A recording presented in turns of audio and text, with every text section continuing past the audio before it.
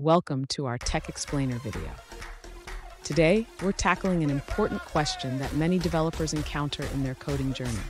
Our viewer asks, is the atomic integer increment and get method thread safe? They mention that they don't see any use of the synchronized keyword in their implementation, and they're concerned about potential issues when multiple threads call this method to generate unique IDs.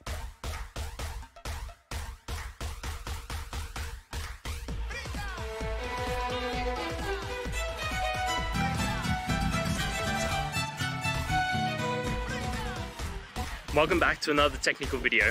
Today, I'll be going through your question, answering it, and hopefully finding that solution you're looking for. Guys, remember to stay just a little bit crazy, just like me, and hopefully you work through to that resolution.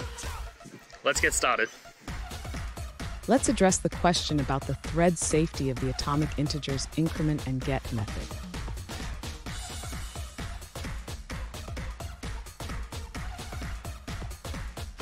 The increment and get method of atomic long is indeed thread safe. This means that multiple threads can safely call this method without causing any data inconsistency.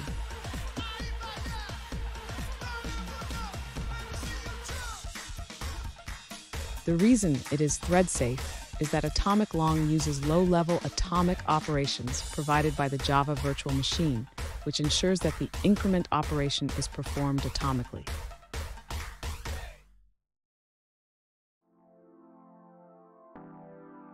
In your code, when you call uniqueID generator.instance.increment and get, it will safely generate unique IDs even when accessed by multiple threads simultaneously.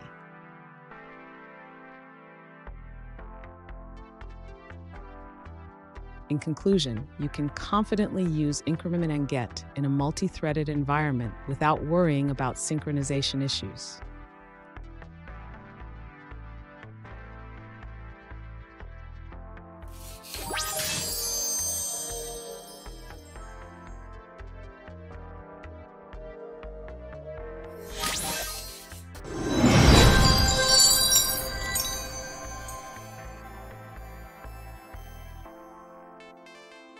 Let's now look at a user-suggested answer.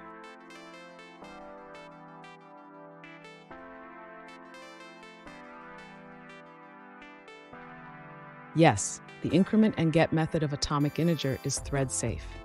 In fact, all classes in the atomic package, like atomic long, are designed for thread safety.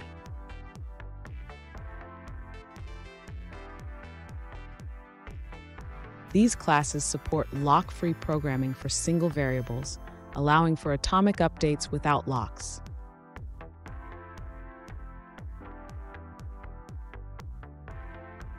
Classes like atomic boolean, atomic integer, and atomic reference provide methods for safe access and updates to their respective types, including atomic increment methods.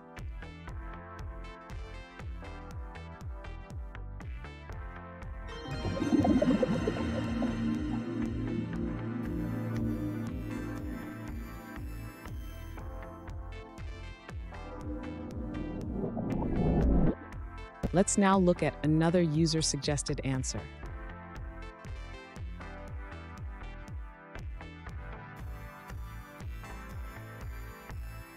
Yes, the increment and get method of atomic integer is thread safe. It's part of the java.util concurrent package, which is designed for concurrent programming.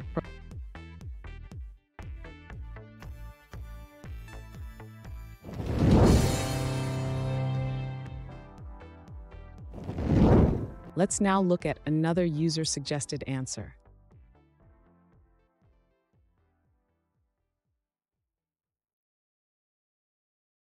Yes, the increment and get method of atomic integer is thread safe. It's designed to ensure that each thread accessing it gets a unique number.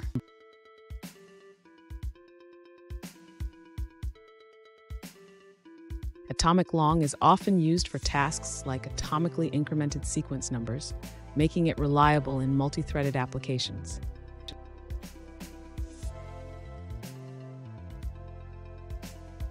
And that's it, guys. I hope that's found the answer that you were looking for and you got through to that solution.